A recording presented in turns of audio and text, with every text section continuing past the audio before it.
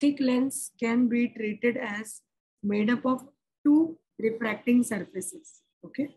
So the lens equations that we are going to see in future all are applicable only when we are talking about thin lens system. If your lens is really thick, then again we need to consider it as com combination of two refracting surfaces. Let us take example of a point object which is kept in front of a spherically refracting surface. Here's for a spherically refracting surface, a very common example can be a glass rod which is having a curvature towards the end. So let's say I have a glass rod of this kind. Here I am drawing a very magnified image. Point P image is being formed inside a glass rod which is medium B and NA is less than NB.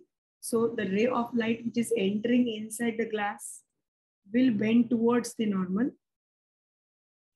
and hence image will be formed so we will look at the intersection of these two rays and our image is formed over here. This is my P prime. Now this is about the point object. What will happen if we take a real life object? For a real life object, the situation will be little bit different. So now we have to look at the image formation for object, which is a non-point object. So here C is our center of curvature. So here it will go undeviated. And the other line that we want to take is where it is hitting the vertex. So when it reaches here, because we are considering that NB is greater than NA, so our ray will bend towards the normal and we will have this image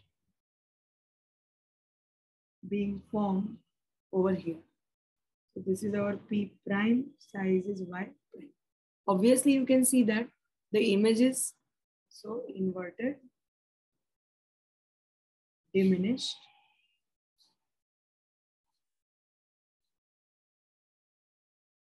diminished and real. What about S and S prime, positive or negative?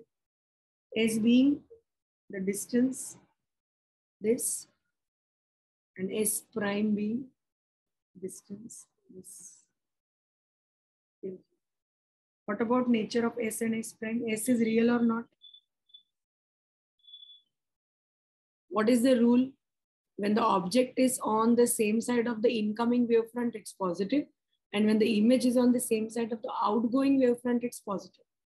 See, object is on the same side of the incoming wavefront. So S is positive and S prime is on the same side of the outgoing wavefront. So S prime is also positive. Now, how do we define our uh, object and image relationship for this? We had 1 by S plus 1 by s prime equal to 1 by r for reflecting surfaces. Now this is refracting surface. So for this, our relationship will be given Na by S. S is object which is kept on the side of the medium A which is having refractive index Na. Thus, Nb by S prime equal to NB minus NA upon R. Now in this situation, NB is greater than NA. So the right hand side value is positive. It can also happen that if your NB is less than NA, then it will become negative. So it depends upon the relationship between NB and NA. Now what happens to the relationship between lateral magnification m equal to size of the object and size of the image relationship remains the same. There is no change. The change will happen at S and S prime. So it's NAS prime by NBS negative. Like if you are given, let's say this is a full side and you have, you are trying to see the object which is at the base. Here, let's say this is the base. Then the rays which will come out are going from higher refractive index to lower refractive index. So they will bend towards the normal or away from the normal? Away, right? So it will go like this. So in this situation, if the one which is going straight will go undeviated and if you backtrace the image, it will appears to be raised, right? So you have S as the object depth and S prime as the apparent depth. Can I use the same equation here? In this case, what is R? In this case, what is R? Radius of curvature. It's a plane surface. So what will be R? For this case, our R is infinity. Hence, this equation will modify to NA by S plus NB by S prime equal to 1 by infinity, which is 0. So the ultimate relationship will become NA by S equal to minus NB by S prime. So NAS prime equal to minus NBS. So you know the refractive index of the two. So if you want to calculate apparent depth, just substitute S, NA, NB, you can calculate S prime. Minus NB by NA into S. Okay, so you can solve apparent depth problem also with same equation. So if I give you, uh, you know, for example, even if I give you a water drop, you know that water droplet can behave as a, what kind of lens is water drop? It's a converging lens of a very short focal length. So if you are having radiation falling onto it, it will act as a very fat convex mirror. Okay. Very short focal. This what I have drawn is very exaggeration.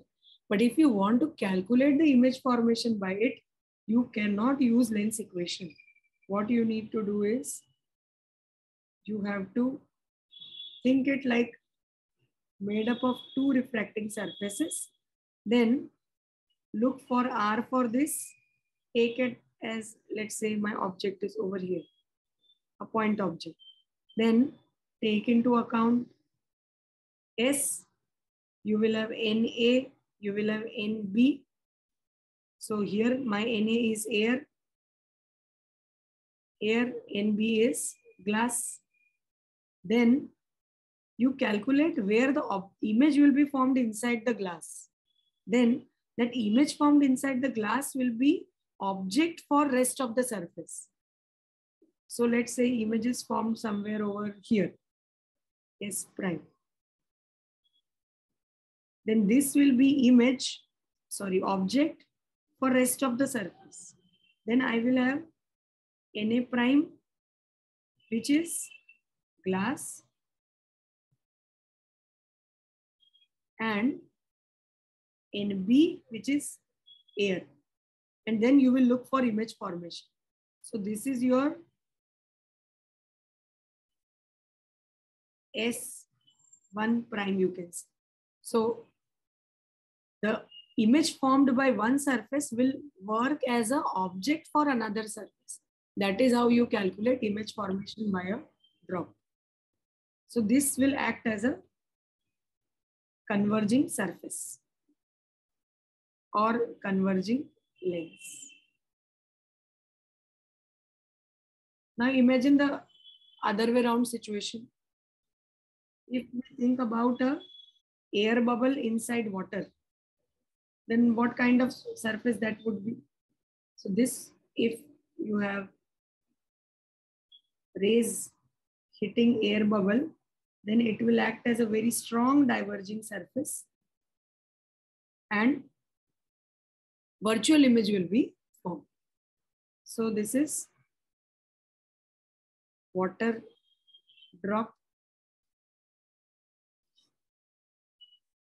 in air and air bubble inside water. So air bubble inside water is acting as a diverging